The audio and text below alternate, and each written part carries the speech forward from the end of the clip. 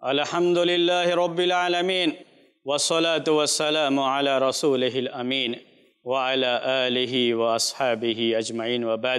محترم ناظرین، اسماء حسنہ کے ایک نئے ایپیسوڈ کے ساتھ ہم آپ کی خدمت پہ حاضر ہیں۔ اللہ تبارک و تعالیٰ کے دو اہم نام، الملک، الملیک، ان دو ناموں کی شرح پچھلے ایپیسوڈ میں آپ کے سامنے آئی تھی۔ آج کے اس ایپیسوڈ میں بھی ان دو اہم ناموں کی شرح کے سلسلے کو جاری رکھا جائے گا۔ باتیں بڑی اہم ہیں۔ اللہ تبارک و تعالیٰ کے ان دو ناموں پر ایمان رکھنے کا تقاضا اور ہماری زندگی سے اس کا بڑا گہرا ربط ہے۔ اس لیے بہت غور سے سنیے، اچھی طرح سے اسے ذہن میں رکھیے اور ان تقاضوں کے مطابق اپنی زندگی بسر کیجیے۔ اپنی زندگی میں یہ چیز اپلائی کیجیے۔ اللہ تبارک و تعالیٰ کے یہ دو نام، الملک و الملیک پر ایمان لانے کا مطلب یہ ہوتا ہے کہ ہم یہ بات مانیں کہ اللہ تعالیٰ تنہا مالک ہے بقیہ تمام مخلوقات، یہ ساری کائنات، یہ اللہ تعالیٰ کی مملوک ہیں اور اللہ تبارک و تعالیٰ ہی تنہا فیصلے کا حق رکھتا ہے اور اس کے فیصلوں کی تین قسمیں ہیں۔ اس کے فیصلے تقدیری بھی ہوتے ہیں، اس کے تقدیری فیصلے، جس کے بارے میں تفصیلات آپ کے سامنے پچھلے ایپیسوڈ میں آ چکی ہے۔ اور اللہ تبارک و تعالیٰ کے فیصلوں کی دوسری قسم اس کے شرعی فیصلے ہیں۔ یعنی اللہ تبارک و تعالیٰ نے جو شریعت بھیجی ہے، جو شرعی احکام نازل فرمائے ہیں، جو آدم علیہ السلام سے لے کر کے محمد صلی اللہ علیہ وسلم تک نازل ہوتے رہے ہیں اللہ تبارک و تعالیٰ کے یہ شرعی فیصلے ہمیں بلا کم و کاست قابل قبول ہونے چاہیے۔ اللہ تبارک و تعالیٰ کے ان دونوں ناموں پر ایمان کا یہ تقاضا ہے کہ ہم اللہ تبارک و تعالیٰ کے ان شرعی فیصلوں کو قبول کریں، ان کو تسلیم کریں، اس کے مطابق اپنی زندگی ڈھالیں، اس کے سانچے میں ہم اپنی زندگی ڈھالیں، اس کے مطابق زندگی بسر کریں۔ اللہ تعالیٰ کے ان شرعی احکام کی خلاف ورزی نہ کریں۔ ہمارا نفس کچھ اور چاہتا ہے۔ ہمارا نفس کچھ اور چاہتا ہے۔ اور اللہ تبارک و تعالیٰ کا حکم کچھ اور کہہ رہا ہے۔ ایسے حالات بہت پیدا ہوتے ہیں۔ ہماری خواہش ہوتی ہے کہ ہم اس ٹائم سو جائیں۔ بڑی میٹھی اور پیاری نیند آ رہی ہے۔ لیکن اللہ تبارک و تعالیٰ کا حکم ہوتا ہے۔ اس کا شرعی فیصلہ ہوتا ہے۔ شرعی فیصلہ کیا ہے کہ تمہیں اس وقت اٹھ کر کے فجر کی نماز پڑھنی ہے۔ یہ اس کا شرعی فیصلہ ہے۔ اب وہ الملک ہے الملیک ہے۔ اس لیے فیصلہ کرنے کا اسے حق ہے، حکم دینے کا اسے حق ہے۔ اور اس نے یہ شرعی حکم دے دیا ہے۔ لیکن ہم مملوک ہیں اور ہماری یہ خواہش ہو رہی ہے، ہمارے نفس کی یہ خواہش ہو رہی ہے کہ ہم سو جائیں۔ بڑی میٹھی نیند آ رہی ہے۔ یہاں اب ہمارے لیے ضروری ہو جاتا ہے کہ جب ہم مومن ہیں اور اللہ تبارک و تعالیٰ کو الملک اور الملیک مانتے ہیں۔ اور ہم یہ مانتے ہیں کہ اللہ تبارک و تعالیٰ ہی کو تنہا فیصلے کا حق ہے۔ اور اس ٹائم اٹھنا اللہ تعالیٰ کا یہ شرعی فیصلہ ہے۔ تو اب ہمارے لیے ضروری ہو جاتا ہے کہ ہم بستر چھوڑ کر کے وضو کریں اور اللہ تبارک و تعالیٰ کے لیے فجر کی نماز ادا کریں۔ یہ ایمان کا تقاضا ہے۔ لیکن اگر ہم سوئے رہ گئے تو گویا کہ ہم نے اللہ کو الملک نہیں مانا۔ اللہ تعالیٰ کو الملیک نہیں مانا۔ اللہ تبارک و تعالیٰ کو فیصلے کا حق ہے، ہم نے یہ نہیں مانا، بلکہ اپنے نفس کے فیصلے کو ہم نے قبول کر لیا۔ اپنے نفس کے فیصلے کو قبول کرنے کا مطلب یہ ہوا کہ اب ہم اپنے نفس کو ہی معبود بنا لیے ہیں۔ اپنے نفس کو ہی ہم نے یہ مان لیا کہ فیصلہ کرنے کا حق ہمارے نفس کو ہے، جبکہ حقیقت کیا ہے؟ کہ فیصلہ کرنے کا حق اللہ تعالیٰ کو ہے، کیونکہ وہ الملک ہے، وہ الملک ہے۔ اسی لیے قرآن میں اللہ تبارک و تعالیٰ نے اس چیز کو یعنی جب بندہ اپنے نفس کی پیروی کرنے لگتا ہے، اللہ کے احکام کو چھوڑ دیتا ہے، اللہ تعالیٰ کے شرعی احکام کو چھوڑ کر کے اپنے نفس کی بندگی کرنے لگتا ہے، تو اللہ تبارک و تعالیٰ نے کہا، افرائیت من اتخذ الہہ ہوا؟ کہ کیا تم نے دیکھا ہے اس شخص کو جس نے اپنا معبود، اپنی خواہشات کو بنا لیا۔ یعنی اپنی خواہشات کے فیصلے پر چل رہا ہے۔ اس کا معبود اللہ نہیں ہے۔ وہ اللہ تعالیٰ کے الملک اور الملیک ہونے پر ایمان نہیں رکھتا ہے۔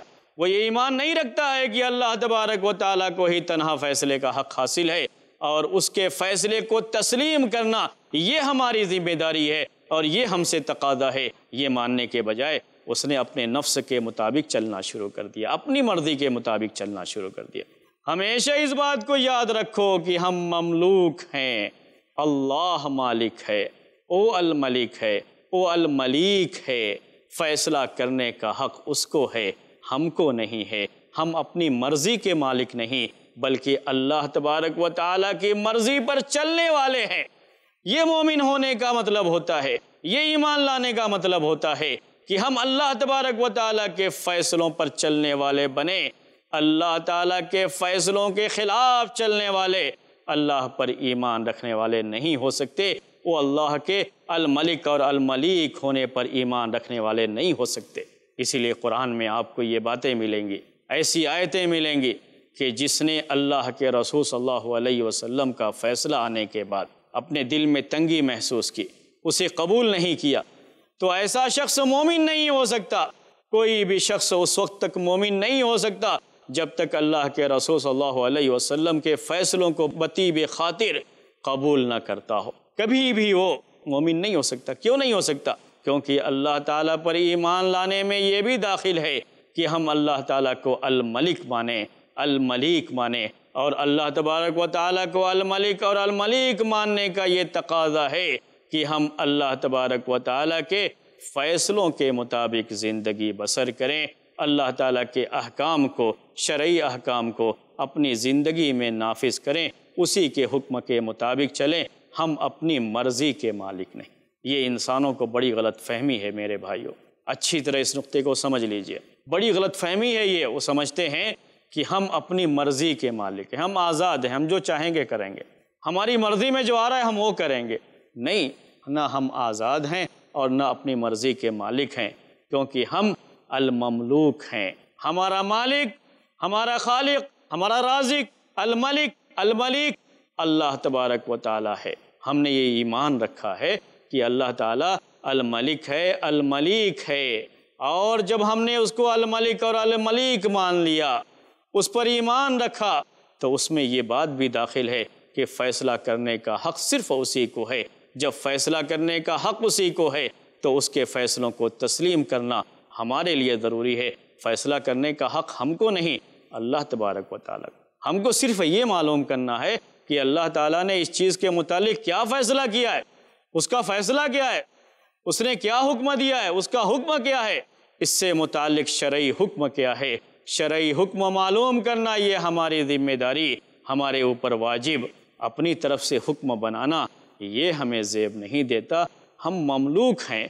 مملوک کو یہ زیب نہیں دیتا کہ وہ حکم بنائے۔ ہمیشہ حکم کون بناتا ہے؟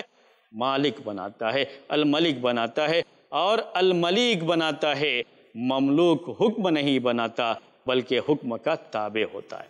ہمیشہ ہر کام میں، ہر قدم اٹھانے سے پہلے میرے بھائیوں اور میری بہنوں، یہ یاد رکھو، ہر قدم اٹھانے سے پہلے یہ معلوم کر لو کہ یہ اللہ کی مرضی ہے یا نہیں۔ یہ اللہ کے حکم کے مطابق ہے یا نہیں؟ بہت سارے کام ہم کرتے ہیں۔ یہ سمجھ کے کرتے ہیں کہ ہم اللہ کی عبادت کر رہے ہیں۔ حالانکہ اللہ تعالیٰ کا وہ حکم ہے ہی نہیں۔ وہ شرعی حکم ہے ہی نہیں۔ جب وہ شرعی حکم نہیں ہے تو اللہ کی مرضی نہیں ہے، کیونکہ وہ اللہ کا فیصلہ نہیں۔ وہاں بھی ہم اپنی مرضی پہ چل رہے ہیں۔ اپنے لحاظ سے ہم نے اس چیز کو طے کر کے وہ کام کرنا شروع کر دیا۔ اسی لیے اللہ تبارک و تعالیٰ کو دین میں نئی چیزیں سخت ناپسند ہیں۔ وہی دین اللہ تعالیٰ کو مقبول ہے، جو دین اللہ تبارک و تعالیٰ نے اپنے رسول پر نازل فرمایا اور اپنے رسول پر اس کی تیئیس سالہ زندگی میں جو نبوت اور رسالت کی زندگی ہے، اس زندگی میں جس دین کو نازل فرمایا، اللہ تعالیٰ یہی چاہتا ہے کہ قیامت تک اسی پر عمل کیا جائے۔ امام مالک رحمۃ اللہ علیہ اسی لیے کہا کرتے تھے کہ ہر وہ چیز جو اللہ کے رسول صلی اللہ علیہ وسلم کے زمانے میں دین نہیں تھی، اب وہ قیامت تک دین نہیں بن سکتی۔ کیوں نہیں بن سکتی؟ اس لیے کہ اللہ تبارک و تعالیٰ کے جو شرعی فیصلے ہیں، یہ شرعی فیصلے محمد صلی اللہ علیہ وسلم پر نازل ہوتے تھے۔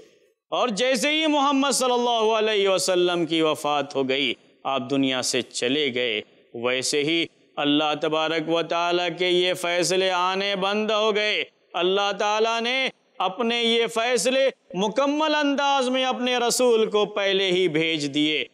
آپ کی وفات سے پہلے ہی دین کو مکمل کر دیا۔ جب مکمل طریقے سے یہ فیصلے اللہ تبارک و تعالیٰ کے یہ فیصلے آ چکے ہیں، تو پھر دین میں کسی نئی چیز کی کوئی گنجائش باقی نہیں رہتی ہے۔ اسی لیے اللہ تبارک و تعالیٰ کے ان دو ناموں پر ایمان لانے میں یہ چیز بھی داخل ہے کہ ہم اللہ تبارک و تعالیٰ کے ہر فیصلے کو آخری فیصلہ سمجھیں۔ اللہ تعالیٰ کے ہر حکم کو آخری حکم سمجھیں۔ اللہ تعالیٰ کے جو شرعی احکام ہیں، شرعی فیصلے ہیں، وہ ویسے ہی بلا چون و چرا قبول کریں۔ کبھی سوال نہ کریں، کبھی یہ نہ کہیں کہ کیوں فجر کی دو رکعت ہے اور ظہر کی چار رکعت ہے۔ عصر کی چار رکعت ہے مغرب کی تین رکعت ہے کبھی یہ سوال آنا ہی نہیں چاہیے۔ کیوں سوال نہیں آنا چاہیے؟ اس لیے کہ یہ اللہ تبارک و تعالیٰ کے شرعی فیصلے ہیں۔ اور اللہ تعالیٰ کے شرعی فیصلوں پر اعتراض کا ہمیں کوئی حق نہیں ہے، بلکہ ہم مملوک ہیں۔ اور مملوک کی حیثیت سے ان فیصلوں کو بلا چون و چرا ہمیں تسلیم کرنا ہے ہمیں ماننا ہے۔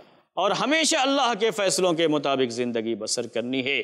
اللہ تعالیٰ سے دعا کیجیے کہ اللہ تعالیٰ ہمیں اس کی توفیق عطا فرمائے اور ہمیشہ ہم کو اسی ایمان کے ساتھ قائم و دائم رکھے یعنی اسی ایمان پر ہم کو باقی رکھے، جب تک دنیا میں زندہ رکھے، اسی ایمان پر زندہ رکھے کہ ہم اللہ تعالیٰ کے ہر فیصلے کو بلا چون و چرا تسلیم کرنے والے بنے دوسری قسم ہے اللہ تبارک و تعالیٰ کے شرعی فیصلے۔ اللہ تعالیٰ کے شرعی فیصلوں کے بارے میں بات چل رہی تھی۔ اللہ تعالیٰ کے یہ شرعی فیصلے، یہی وہ شرعی احکام ہیں جو اللہ تبارک و تعالیٰ نے ہماری ہدایت کے لیے نازل فرمائے ہیں۔ اللہ تبارک و تعالیٰ نے دنیا میں ہمیں پیدا کرنے کے بعد یوں ہی نہیں چھوڑ دیا، بلکہ ہماری ہدایت کے لیے، ہماری رہنمائی کے لیے گائیڈ لائن دیا ہے، شرعی احکام نازل فرمائے ہیں۔ یہ شرعی احکام ہمارے سامنے ہمیشہ رہنا چاہیے اور انہی کے مطابق ہمیں زندگی بسر کرنی چاہیے۔ اللہ تبارک و تعالیٰ کے شرعی احکام کو بلا چون و چرا ہمیں تسلیم کرنا ہے اور اس کے مطابق ہمیں زندگی بسر کرنی کبھی کبھی بہت سے بھائی جو ہم میں سے ہی ہیں، ہمارے اپنے بھائی سوال کرتے رہتے ہیں۔ اللہ تبارک و تعالیٰ کے فیصلوں پر سوال کرتے رہتے ہیں۔ جیسے کسی نے یہ سوال داغ دیا کہ کیوں اللہ تبارک و تعالیٰ نے مردوں کو چار شادی کی اجازت دی؟ اور عورت کو چار شادی کی اجازت نہیں ہے۔ سوال داغ دیا۔ یہ سوالات کیوں آتے ہیں؟ کیوں انسان یہ سوال کرتا ہے؟ اس لیے کہ اللہ تعالیٰ کے الملک اور الملیک ہونے پر اس کو ایمان نہیں ہے۔ اگر حقیقت میں اس کو اللہ تبارک و تعالیٰ کے الملک اور الملیک ہونے پر ایمان ہوتا، تو کبھی بھی یہ سوال نہیں کرتا۔ کیوں نہیں کرتا؟ کیونکہ ان دونوں ناموں پر ایمان لانے کا مطلب یہ ہے۔ کہ ہم یہ مانیں کہ اللہ تعالیٰ ہی کو تنہا فیصلے کا حق ہے اور اللہ تعالیٰ کا یہ شرعی فیصلہ ہے۔ شرعی حکم ہے کہ اللہ تبارک و تعالیٰ نے مردوں کو چار شادیوں کی اجازت دی اور خواتین کو ایک شادی کی یعنی وہ صرف ایک شخص کی بیوی ہو سکتی ہے۔ ایک وقت میں ایک ہی شخص کی بیوی ہو سکتی ہے، ایک سے زائد کی بیوی نہیں ہو سکتی۔ یقیناً اس میں بڑی حکمتیں ہیں۔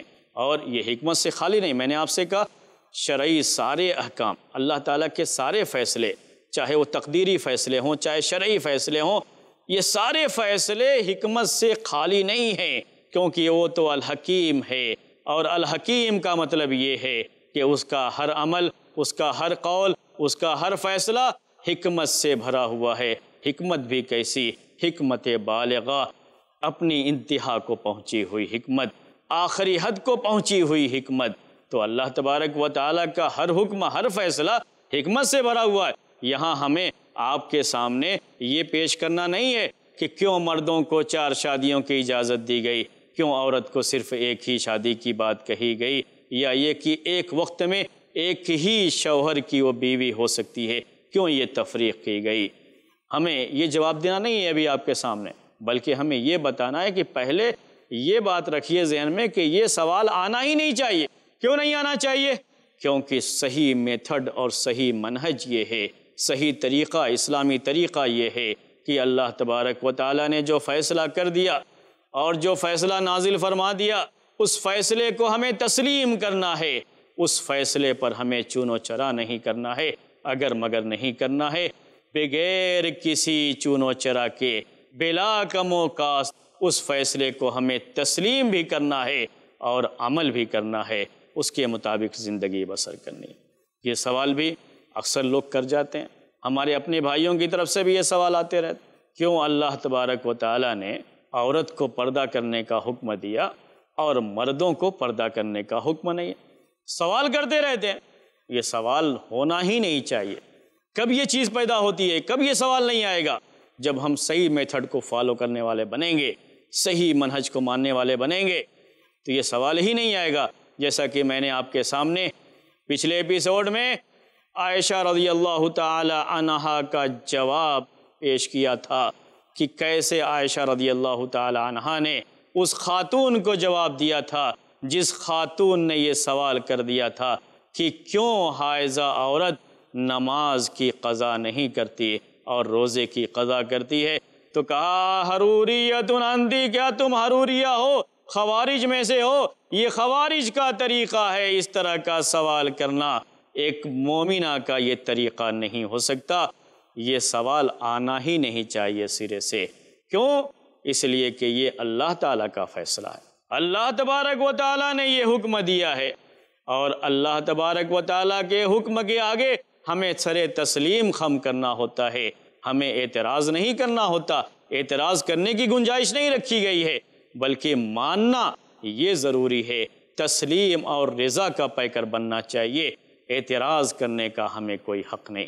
بس اتنا معلوم کرنا کافی ہے کہ یہ اللہ تعالیٰ کا فیصلہ ہے یا نہیں۔ اللہ تعالیٰ نے یہ حکم نازل فرمایا ہے یا نہیں۔ کسی نے اپنی طرف سے تو یہ حکم نہیں لاگو کر دیا ہے۔ اپنی طرف سے تو کہیں یہ چیز ہمارے اندر نہیں گھسا دی ہے، یہ صرف معلوم کرنا ہے۔ لیکن یہ معلوم ہو جانے کے بعد کہ یہ اللہ تعالیٰ کا حکم ہے کہ عورتیں جب گھر سے باہر نکلیں گی تو با پردہ نکلیں گی۔ بس عورتیں اسے قبول کریں۔ ہم اسے قبول کریں۔ یقیناً اس میں بڑی حکمت ہے، بڑی مصلحت ہے۔ لیکن ہمیں یہ حکمتیں اور مصلحتیں بیان کرنے کی ضرورت نہیں ہے۔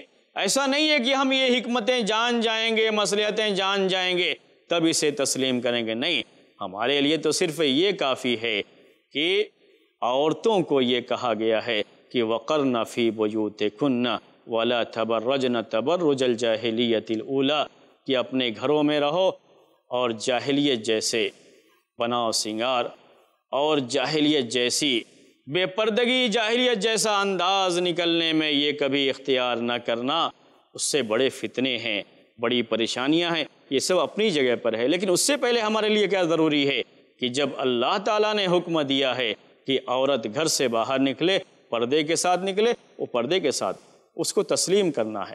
اگر اسے ایمان ہے اللہ تبارک و تعالیٰ کے الملک اور الملیک ہونے پر، اگر ایمان ہے اس بارے میں کہ اللہ تعالیٰ ہی تنہا فیصلے کا مالک ہے، شرعی احکام سارے کے سارے، شرعی فیصلے سارے کے سارے اللہ تعالیٰ کے ہیں اور یہ حق صرف اللہ تعالیٰ کا ہے۔ اسی کو حق ہے یہ فیصلہ کرنے کا اور ہماری ذمہ داری ہے اس فیصلے کو تسلیم کرنے کا۔ تو کبھی بھی وہ اعتراض کے پنے کھول کر کے نہیں بیٹھے گا۔ کبھی بھی شکایات کے پنے کھول کر کے نہیں بیٹھے گا، بلکہ تسلیم و رضا کی شکل اختیار کرے گا۔ تسلیم و رضا کا پیکر بنے گا۔ اللہ تبارک و تعالیٰ کے فیصلے کو تسلیم کرے گا۔ اس لیے یہ فیصلہ ہر مومن خاتون کو تسلیم اور ہر مومن مرد کو تسلیم۔ ویسے اللہ تعالیٰ نے مومن مردوں کو بھی حکم دیا ہے کہ وہ نگاہیں نیچی رکھیں۔ مومن عورتوں کو بھی حکم دیا ہے کہ وہ نگاہیں نیچی رکھیں۔ اجنبی چہروں پر نگاہ جا ڈالنے کو ہر ایک کے لیے حرام قرار دیا گیا۔ اچانک کبھی نگاہ پڑ گئی، الگ بات ہے، لیکن جان بوجھ کر کے دیکھنے سے منع کیا گیا ہے۔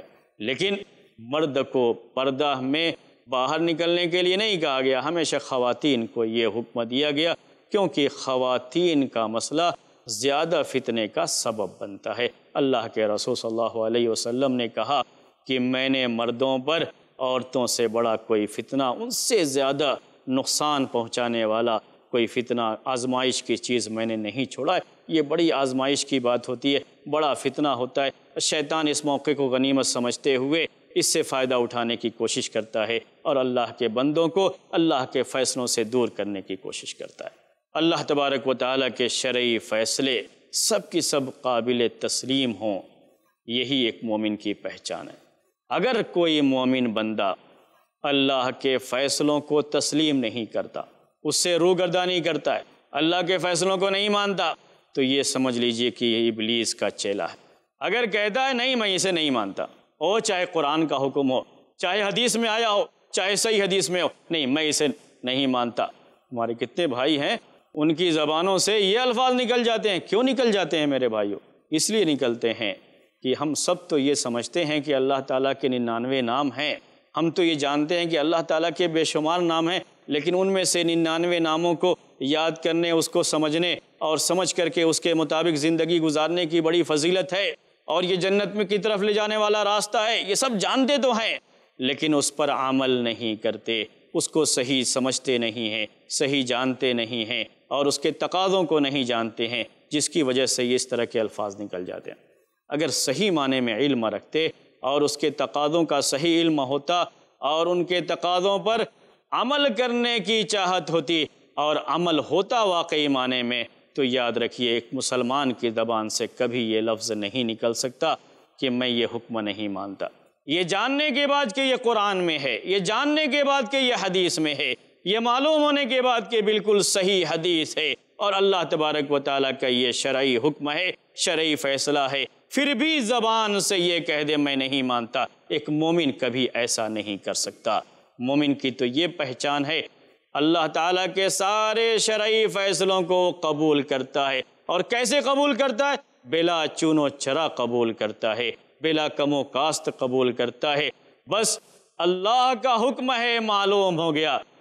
سر تسلیم خم ہے، ہمیشہ یہی انداز ایک مومن کا ہوتا ہے اور یہی انداز ہم سب کا بھی ہونا چاہیے۔ میرے بھائیوں اللہ تعالیٰ سے دعا کیجیے کہ اللہ تعالیٰ ہمیں اس کی توفیق دے۔ آج کے اس ایپیسوڈ میں اس پر ہی اکتفا کرتے ہیں۔ یقیناً ہمیں خواہش ہے کہ ہم یہ باتیں اور بھی سنیں۔ اگر یہ خواہش آپ کے ذہن میں، آپ کے دل میں ہے، تو انتظار کیجیے اگلے ایپیسوڈ کا۔ اگلا ایپیسوڈ دیکھنا نہ بھولیے۔ انشاءاللہ اس نام کی اور شرح لے کر کے پھر ہم آپ کے پاس ایک مرتبہ اور حاضر ہوں گے۔ تب تک کے لیے اجازت دیجیے السلام علیکم ورحمۃ اللہ وبرکاتہ۔